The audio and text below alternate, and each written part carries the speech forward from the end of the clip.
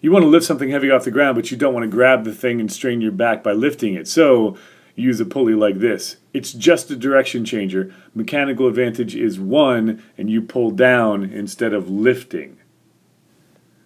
Change it up a little bit. This pulley system has a mechanical advantage of two.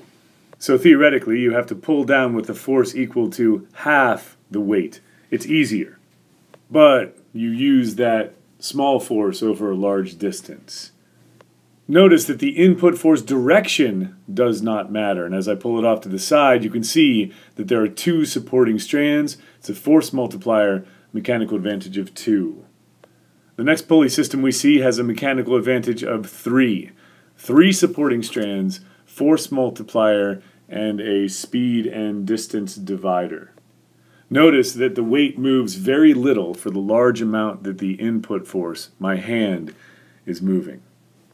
Notice that the other end of the string is attached to the hook at the top of the movable pulley.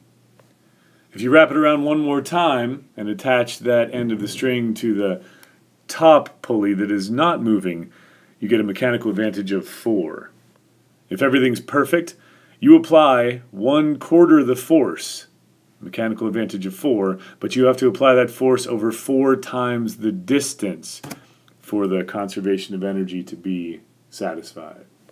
And as with all these machines, you can always take a force multiplier, switch the input and output force, and make it into a speed and distance multiplier.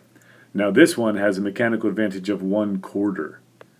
4 times the output speed, 4 times the output distance, but unfortunately, you have to apply a force that is equal to four times the weight to get that thing to move.